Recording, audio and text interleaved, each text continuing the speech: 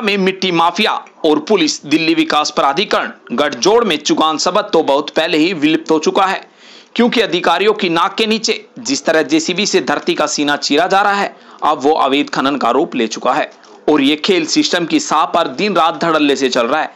इसका ताज़ा उदाहरण दिल्ली विकास प्राधिकरण नरेला क्षेत्र में देखने को मिला। वहाँ अधिकारियों की मिलीभगत से सरकारी मिट्टी का भूमाफियाओं द्वारा अवैध खनन किया जा रहा है। सरकारी मिट्टी को बेचकर कमा रही है मोटी रकम। और वो भी प्रशासन की मिलीभगत से। राजधानी में बैठे खनिज विभाग अधिकारियों और आला अधिकारियों की नाक के नीचे नरेला थाना क्षेत्र से दिन रात धड़ल्ले से सरकारी मिट्टी का अवैध खनन हो रहा है।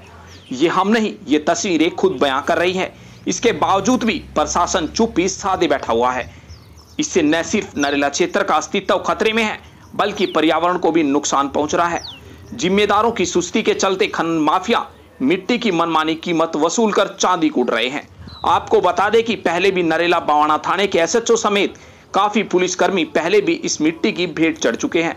लेकिन फिर भी इन मिट्टी माफियाओं पर कार्रवाई नहीं करती तो इसका मतलब साफ़ है कि पैसों की खनक ने सामने सब कुछ मुख दर्शक बने हुए हैं।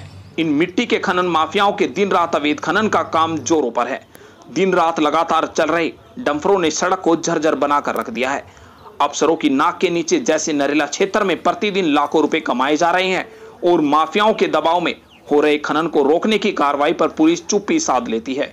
आप देखने वाली बात होगी कि दिल्ली विकास प्राधिकरण या दिल्ली पुलिस इन अवैध खनन माफियाओं पर कोई कार्रवाई करती है या फिर ऐसे ही अपनी चुप्पी बनाए रखती है, जिसके चलते अवैध खनन का काम धड़ल्ले से चलता रहेगा।